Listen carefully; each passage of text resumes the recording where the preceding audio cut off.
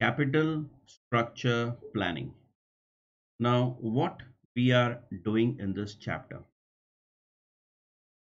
When company requires funds, paisa paisa, company requires funds for new project or say for expansion.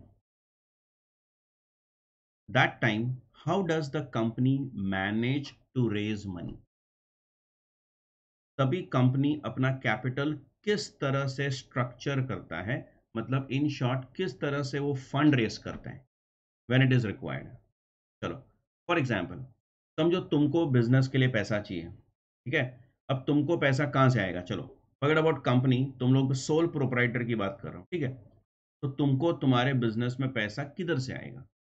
Savings you can use your savings चलो ठीक है और loan you can take loan from banks you can take loan from friends okay घर से तुम पैसा ले सकते हो, बराबर है? पापा से पैसा ले सकते हो। ये तुम्हारे सोर्सेज ऑफ़ फंड्स हैं। लेकिन अगर मैं कंपनी की बात करूँ तो कंपनी को अगर पैसा चाहिए, समझो for example company requires capital requirement fund requirement समझो कंपनी को फंड चाहिए फंड रिक्वायर्ड से दस लाख रुपया। अज्यूम करो कंपनी को दस लाख रुपया चाहिए। क्यों? एक प्रोजेक्ट में इन्वेस्ट करना है। एक प्रोजेक्ट में इन्वेस्ट करना है। ठीक है? तो कंपनी को दस लाख रुपया कहाँ से आ सकता है? It can be equity it can be preference बराबर ना? Issue of equity share issue of preference share it can be debenture it can be bank loan it can be combination also थोड़ा इक्विटी थोड़ा debenture थोड़ा equity थोड़ा preference ऐसा भी हो सकता है ना?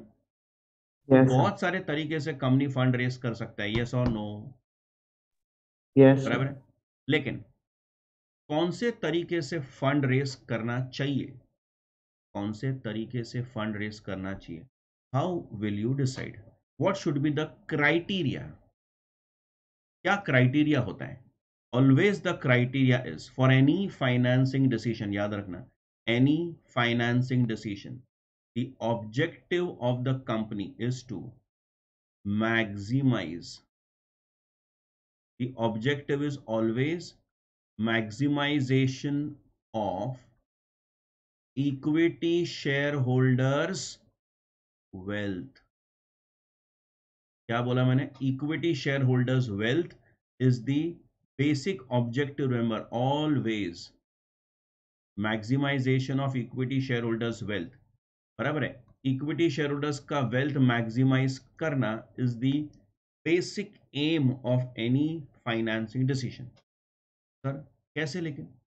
How does the wealth of equity share holder will be maximise क्या होता है वेल्थ समझो फॉर एग्ज़ाम्पल तुम्हारे पास रिलायंस uh, का हंड्रेड शेयर है. तुम्हारे पास रिलायंस का सौ शेयर है. तुम्हारा वेल्थ क्या है? सौ शेयर इंटू उसका मार्केट प्राइस है ना? तुम लोग क्या सोचोगे? सौ share into market price hundred share उसका मार्केट प्राइस समझो ढाई हज़ार है। Two thousand five hundred suppose हम लोग क्या बोलेंगे? सौ into two thousand five hundred मतलब दो लाख पचास हज़ार का मेरा वेल्थ है। ऐसे ही बोलोगे? हमारे पास अगर किसी कंपनी का शेयर्स होगा तो हम क्या सोचते हैं? मन में क्या सोचते हैं? शेयर का भाव बढ़े शेयर का भाव बढ़े, ऐसा ही सोचते हैं तो मेरा वेल्थ क्या है? Number of shares into market price मतलब शेयर होल्डर का वेल्थ शेयर होल्डर का wealth is dependent on the market price तो इक्विटी शेयर होल्डर का वेल्थ कैसे बढ़ेगा? By maximising the market price per share okay तो हमेशा कंपनी को देखना चाहिए कि शेयर का भाव को क्या फ़र्क पड़ता है? Because Shares are held by everyone. Remember, shares are held by the investors, shareholders, of course, yes. Shares are held by the promoters. Promoter का भी holding होता है. Shares are held by the employees of the company. मतलब market price में सबको interest है याद रखना तो कोई भी कंपनी का फाइनेंसिंग डिसीज़न होता है तो कंपनी पहले सोचता है कि इसका इफ़ेक्ट मार्केट प्राइस पे क्या होगा अगर मार्केट प्राइस कम हो जाएगा तो this decision is not good अगर मार्केट प्राइस बढ़ जाता है this decision is good okay तो market price is very very very very important समझा? कोई भी कोई भी प्रोजेक्ट हो, कोई भी प्रोजेक्ट हो, कोई भी इन्वेस्टमेंट हो, कोई भी फाइनेंसिंग डिसीज़न हो, उसका इम्पैक्ट मार्केट प्राइस पे क्या होगा? इसके बारे में हंड्रेड परसेंट सोचा जाता है। Sir market price is the only criteria नहीं, एक और है earning per share both are important earning per share को ही फ़र्क पड़ता है। सर, लेकिन ज़्यादा इंपॉर्टेंट कौन सा है? मार्केट प्राइस मार्केट प्राइस ज़्यादा इंपॉर्टेंट है। देखो, दो टाइप के शेयर होल्डर्स होते हैं। एक होता है लॉन्ग टर्म शेयर होल्डर एक होता है शॉर्ट टर्म शेयर होल्डर अभी जो शॉर्ट टर्म शेयर होल्डर होता है ना, वो क्या सोचते हैं मन में? वो सोचता है कि मैंने शेयर खरीदा। शेयर का भाव बढ़ेगा। दस दिन, पंद्रह दिन, दो दिन, पाँच दिन, एक महीना और मैं शेयर बेच दूँगा। तो शॉर्ट टर्म शेयर होल्डर ने शेयर खरीदा है because he wants to sell immediately in short term okay तो short term share holders are interested only in market price उसको कंपनी के अर्निंग पर शेयर से कुछ लेना देना नहीं है। अर्निंग कंपनी क्या कर रहा है, क्या नहीं कर रहा है, क्या मतलब है उसको? उसको कंपनी के अर्निंग से क्या मतलब है? रिगार्डिंग इट तो is not interested in companies earning अच्छा लेकिन सर तो लॉन्ग टर्म शेयर होल्डर कौन है? लॉन्ग टर्म शेयर होल्डर वो है जो जिसने शेयर खरीद के रखा है। बराबर है? जिसने शेयर खरीद के रखा है और वो उसको होल्ड करने वाला है। दस साल, पंद्रह साल से होल्ड कर रहा है और उसका इंटेंशन है डिविडेंड कमाना। क्या कमाना? डिविडेंड कमाना। अब कंपनी डिविडेंड कब देगा? जब उसका अच्छा खासा अर्निंग पर शेयर हो। समझो तुम। अगर कंपनी का अर्निंग नहीं होगा तो डिविडेंड कैसे देगा वो? जो कंपनी का अर्निंग अच्छा नहीं है उसका डिविडेंड कैसे देगा? तो हमेशा कंपनी हमेशा कंपनी का ईपीएस वो देखेगा। क्यों? क्योंकि उसको डिविडेंड कमाना है। ठीक है? वो डिविडेंड कमाएगा। ईपीएस कमाएगा तो कंपनी डिविडेंड देगा ना, सीधी सीधी बात है। तो long term share holders are interested in EPS long term वाला। तो sir long term share holder is not interested in market price मैंने ऐसा बोला ही नहीं। मार्केट प्राइस में तो मैंने बोला सबको इंटरेस्ट है। सबको इंटरेस्ट है। तो चाहे शेयर होल्डर लॉन्ग टर्म हो कि शॉर्ट टर्म हो मार्केट प्राइस में सबको इंटरेस्ट है। ठीक है? तो मैंने बोला कंपनी को दस लाख रुपया चाहिए। ये दस लाख रुपया कैसे मिलेगा? समझो अज्यूम करो कंपनी के पास तीन ऑप्शन है। फाइनेंस मैनेजर के पास तीन ऑप्शन है। ये दस लाख रुपया रेस करने का, ठीक है? चलो let me take this example option one option two option three, बराबर? ये तीन तरीके से कंपनी फंड रेस कर सकते हैं। ये तीन तरीके से कंपनी फंड रेस कर सकते हैं। पहला, पूरा का पूरा दस लाख इक्विटी शेयर कैपिटल से। अज्यूम करो एक शेयर सौ रुपए का है। एक शेयर समझो सौ रुपए का है।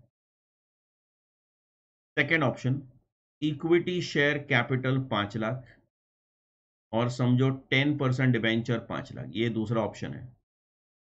कंपनी को दस लाख रुपया रेस करना है तो दस लाख रुपया ऐसे भी रेस कर सकता है। Option three equity share capital समझो ना पाँच लाख फाइव लैक्स और eleven percent preference share capital समझो पाँच लाख। ये तीन तरीके से कंपनी फंड रेस कर सकता है। खाली तीन तरीका है? अरे नहीं, बहुत सारे तरीके होते हैं। मैंने तीन बोले हैं खाली। ये तीन तरीके से कंपनी फंड रेस करता है। सपोज़ ऐसे तीन ऑप्शन फाइनेंस मैनेजर ने सोचा है। अब हमको क्या सोचना है? फाइनेंस मैनेजर को क्या फाइंड आउट करना है? कि इन तीनों तरीके में से बेस्ट तरीका कौन सा? तो क्राइटेरिया क्या होना चाहिए? Maximisation of market price maximisation of earning per share sir कौन सा ज़्यादा इंपॉर्टेंट है? ऑफकोर्स मार्केट प्राइस ज़्यादा इंपॉर्टेंट है। लेकिन अभी फ़िलहाल मैं ईपीएस पर सम्स कर रहा हूँ। Earning per share market price वाले सम हम बाद में करेंगे। कैलकुलेशन ऑफ़ मार्केट प्राइस वाले सम हम बाद में करेंगे। पहले ईपीएस e की बात करें तो concentrate on EPS concentrate on EPS तो मैं वो फाइनेंसिंग प्लान में जाऊँगा। सर फाइनेंसिंग प्लान मतलब ये अपना फाइनेंसिंग प्लान है ना। This is financing plan one equity financing plan two आधा इक्विटी आधा डिवेंचर फाइनेंसिंग प्लान थ्री आधा इक्विटी आधा प्रेफरेंस ये मेरे तीन फाइनेंसिंग प्लान मैंने सोचे ओके ये दस लाख रुपया कहाँ इन्वेस्ट करना है? किसी प्रोजेक्ट में। अच्छा ये दस लाख में से मुझे E B I T earning before interest and tax मिलेगा। समझो दो लाख रुपया पर एनम तो direct E B I T बोला सेल्स क्यों नहीं बोला? हमको मालूम है sales minus variable cost contribution minus fix cost EBIT सीधा ईबीआईटी बोला सर। देखो, दस लाख रुपया किधर से भी आए? सेल्स तो वही रहने वाले हैं। किधर से भी दस लाख आए? क्या फ़र्क पड़ता है? दस लाख दस लाख रुपया है। वो बिज़नेस में बिज़नेस में डालोगे तो सेल्स तो उतना ही आने वाला minus variable cost same minus fix cost rent salary fix salary same EBIT तक ना सेम ही रहने वाला है। चाहे तुम पैसा प्लान वन से रेस करो, कि प्लान टू से रेस करो, कि प्लान थ्री से रेस करो, कोई फ़र्क नहीं पड़ता है। तीनों तरीके से, कोई भी तरीके से पैसा लो मार्केट से, क्या फ़र्क पड़ेगा? तुम्हारा ईबीआईटी तो दो लाख ही आने वाला है। अच्छा ईबीआईटी के बाद चेंजेस आएगा। क्यों सर क्योंकि ईबीआईटी के बाद इंटरेस्ट आता है। देखो, इसमें इंटरेस्ट है।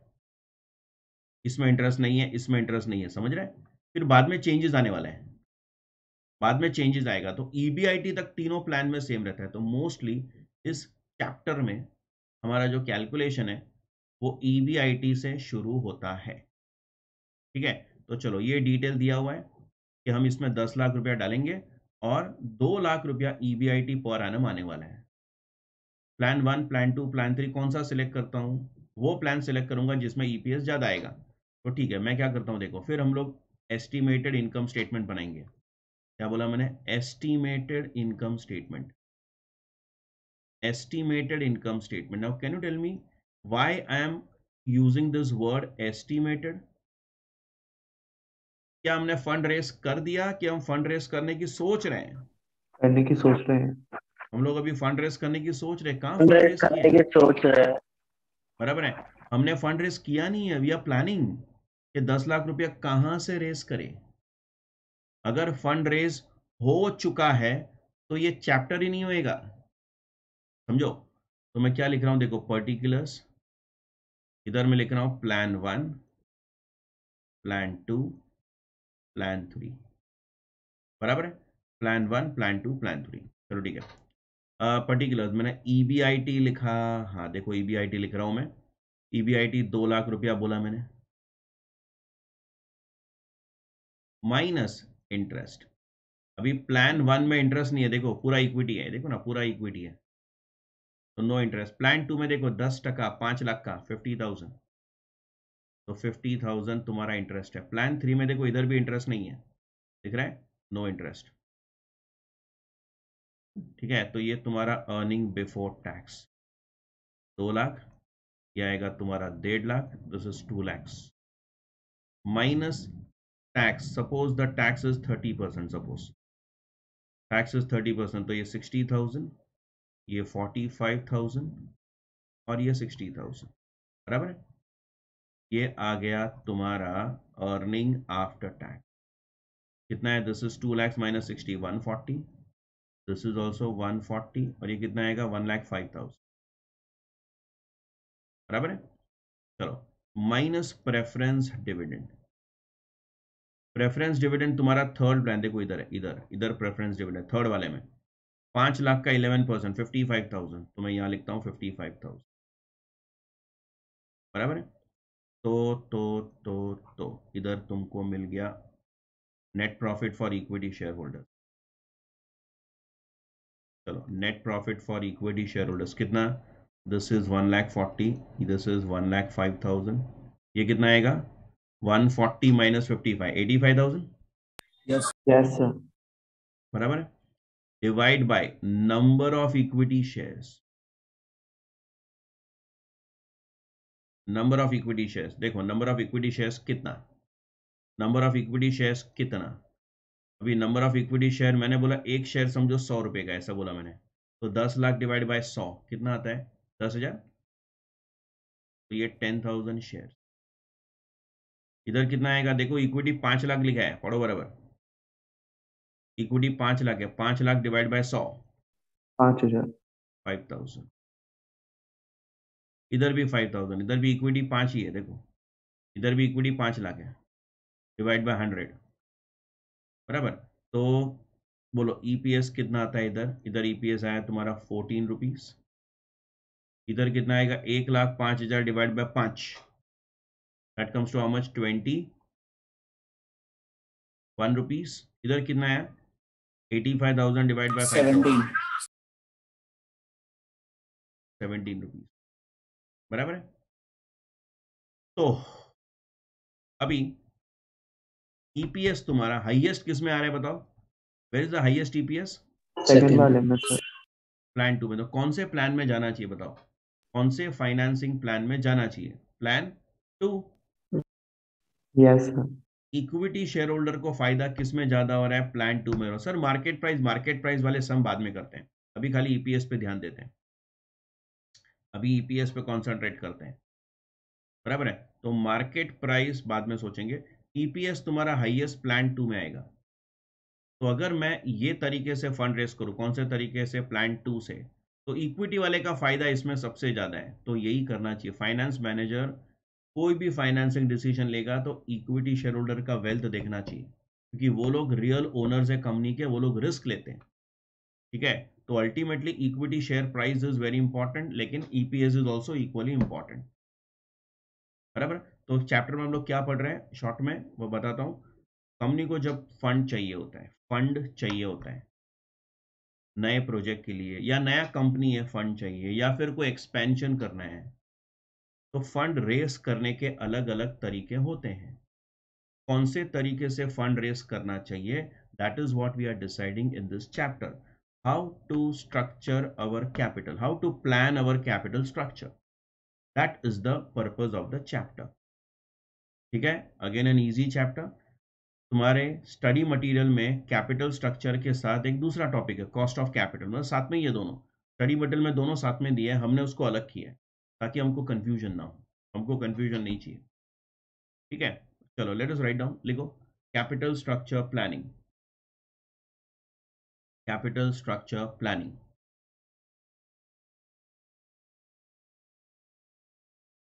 Let go right now.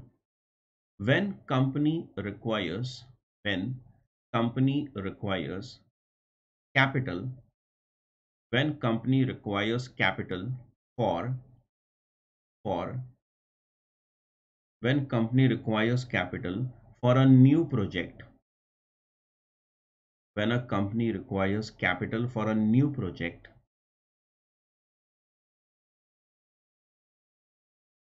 then then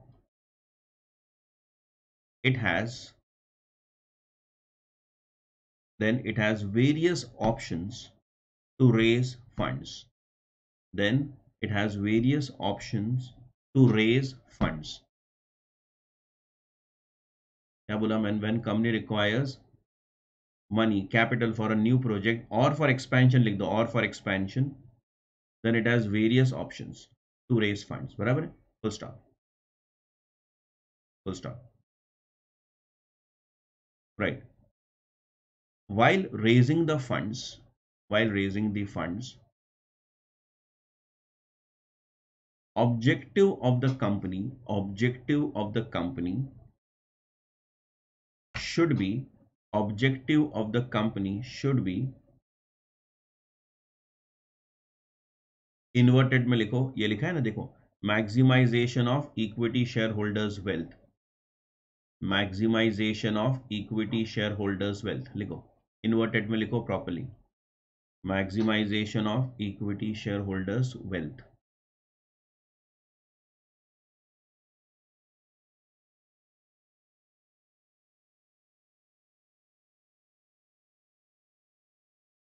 लिखा? इनवर्टेड क्लोज लिखो which can be done by which can be done by which can be done by maximising which can be done by maximising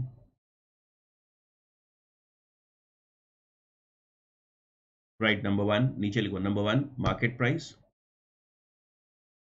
नीचे लिखो number one market price and number two earning per share market price and number two earning per share.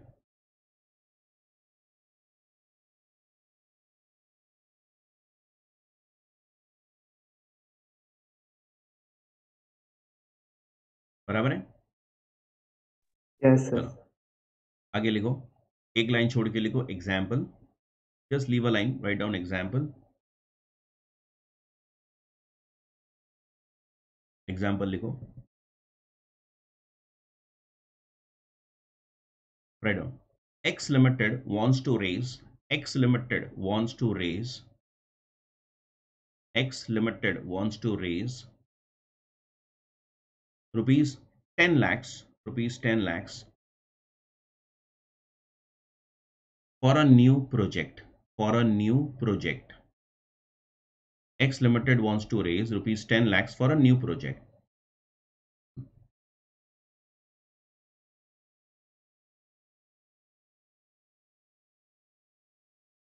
Okay, which is expected to earn, which is expected to earn, which is expected to earn an EBIT, which is expected to earn an EBIT of rupees 2 lakhs per annum, which is expected to earn an EBIT of rupees 2 lakhs per annum.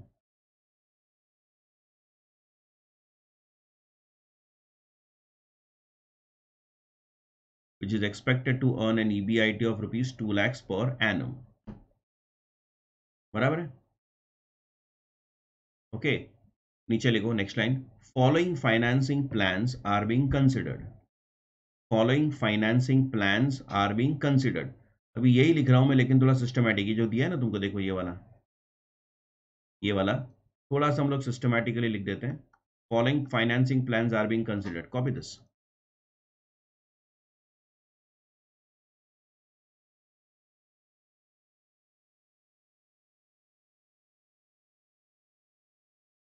particulars plan 1 plan 2 plan 3 equity 10% debentures 11% preference share capital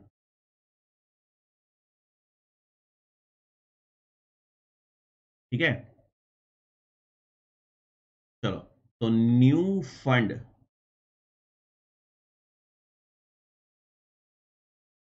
new fund जो हमको चाहिए, वो कितना है? दस लाख? वो तो दस लाख है। न्यू फंड जो हमको चाहिए, वो है दस लाख, ठीक है? चलो प्लान वन प्लान वन में पूरा का पूरा दस लाख का इक्विटी है।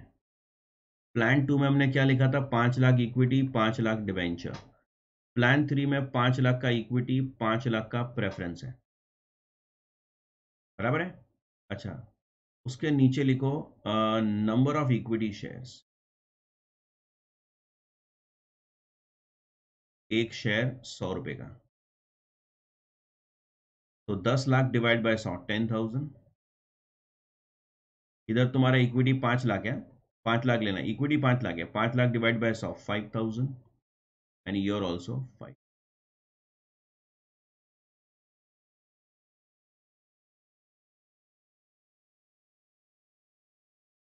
ठीक है? यस सर चलो अभी नीचे लिखो। Advise the company advise the company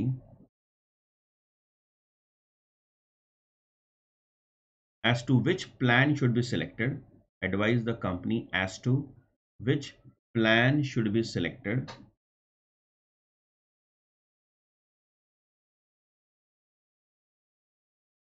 assuming tax rate कितना लिया था हमने? Tax rate thirty percent assuming tax rate thirty percent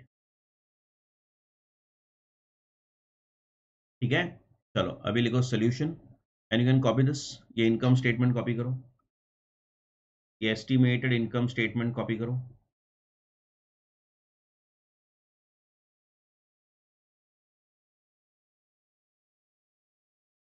So can you roll down, scroll down for a second?